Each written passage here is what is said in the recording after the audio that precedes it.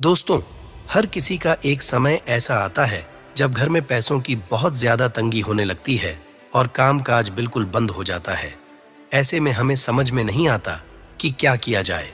लेकिन आज हम आपको कुछ ऐसे तरीके बताने वाले हैं जिन्हें अपनाकर आप पैसे की तंगी को खत्म कर सकते हैं। आचार्य चाणक्य ने जीवन में हर क्षेत्र को बेहतर बनाने के लिए कई बातें बताई हैं। साथ ही उन्होंने ये भी बताया है कि अगर आप जीवन में पैसों की तंगी का सामना कर रहे हैं तो किन गलतियों के कारण कर रहे हैं? तो यदि आप भी पैसों की तंगी से बचना चाहते हैं तो ये कुछ बातों का ध्यान रखना। वीडियो में आगे बढ़ने से पहले आपसे रिक्वेस्ट है कि प्लीज़ चैनल को सब्सक्राइब ज़रूर कर लें और बेल आइकॉन को दबा लें। साथ ही, इस वीडियो को अपने करीबी लोगों के साथ फेसबुक और व्हाट्सएप पे शेयर करना बिल्कुल ना भूलें। तो चलिए, आज की वीडियो शुरू करते हैं।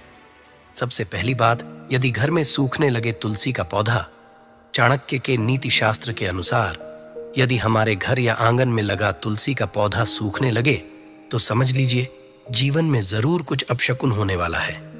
इसकी सूखती पत्तियाँ घर में आर्थिक तंगी आने का इशारा देती हैं। इससे डरने की बजाय इस पर विचार करने की आवश्यकता है। दूसरी चीज़ है, चटका या टूटा हुआ शीशा। अगर आपके घर में बार बार आईना या कांच के बर्तन टूटते हैं तो ये एक बेहद अशुभ संकेत है। घर में शीशे का टूटना या चटकना किसी बड़ी समस्या के आने का इशारा हो सकता है। अगर आप घर में कांच के टूटे हुए या चटके हुए बर्तन रखते हैं तो आज ही अपनी इस गलती को सुधार लीजिए। तीसरा है, दीवारों पर सीलन। अगर आपके घर की दीवारों पर हमेशा सीलन जमी रहती है, रंग पेंट कराने के बाद भी दीवारों से सीलन नहीं जाती है तो यहाँ कुछ तो गड़बड़ है। दीवारों की सीलन या घर में जालों को यूँ नजरअंदाज ना करें। ये घर की उन्नति पर बुरा असर पड़ने का संकेत हो सकते हैं। इस अशुभ संकेत को पहचानिए और इसे दूर करने पर विचार कीजिए। ध्यान रहे कि झगड़े और तनाव भी इसका बड़ा कारण है। आचार्य चाणक्य के अनुसार, जब किसी घर में दिन रात झगड़े होते हैं और तनाव का माहौल बना रहता है तो समझ लीजिए वो घर बर्बादी की कगार पर निकल पड़ा है। ऐसे घर में कभी लक्ष्मी कुबेर का वास नहीं होता है। आर्थिक तंगी के चलते लोग हमेशा परेशान ही रहते हैं।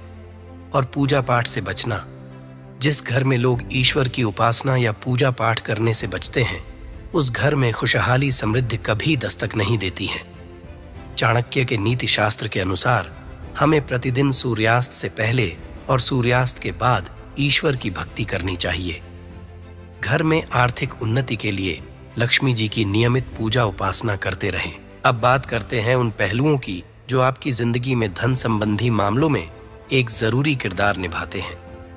आचार्य चाणक्य कहते हैं कि इंसान को रहने के लिए हमेशा ऐसी जगह को ही अपना ठिकाना बनाना चाहिए, जहाँ उसके जीविकोपार्जन के उचित अवसर मौजूद हों।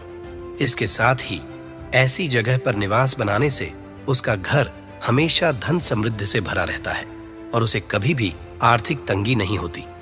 चाणक्य कहते हैं कि पैसा कमाना ही काफ़ी नहीं है, बल्कि उसे सही तरीके से कमाया जाना चाहिए। गलत काम करके कमाए गए पैसों का कोई मोल नहीं होता, और वह उल्टे सीधे कामों में ही निकल जाता है। इसे अंत तक देखने के लिए आप सबका धन्यवाद।